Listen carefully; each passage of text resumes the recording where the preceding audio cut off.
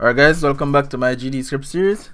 So today we're gonna go over conditional statements such as checking if a number is greater than another number, equal to another number, and stuff like that.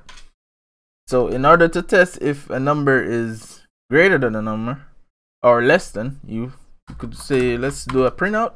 So say number one, use the less than symbol, and then number two or num2 that should print out true or false. Yes true. There you go. And the greater than use a greater than symbol that would print false to do a equal to use two equal signs and that would also be false. And to do not equal to use exclamation sign and then an equal sign and that rings true because it's not equal to each other. And then if you want to this also works for strings so let's change this to string 1 and string 2 and let's check if it's equal to each other and that would be false. And the reason why that's false is because I purposely left this H as a uppercase. So let's change it back to lowercase and this should now be true.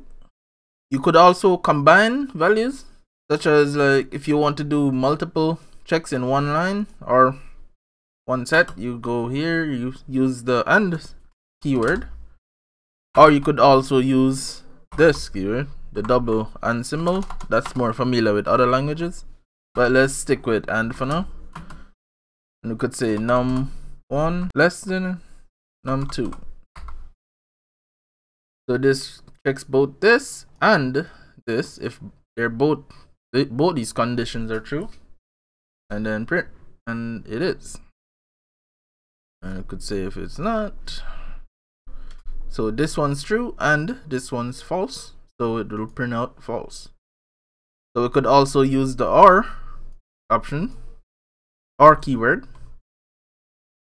And you could also use it use two vertical bars but we'll just use regular ors and that will print true because that's one of the conditions are true. You could also check for opposite. So for example let's use is tutorial for example. So let's print this here is tutorial. This would be true by default.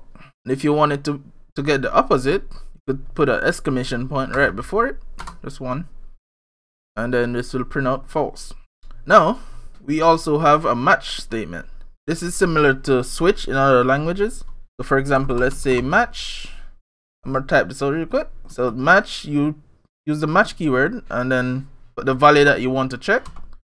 So let's check number one and then use a colon here. Then put in the value that you want to check if it is that value. So you could say maybe let's say 10 here.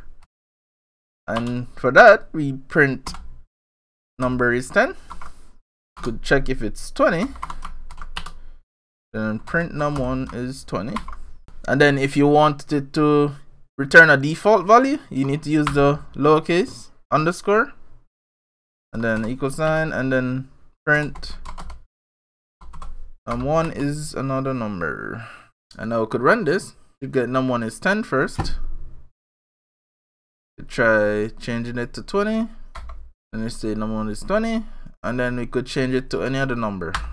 So there you go and num1 is another number.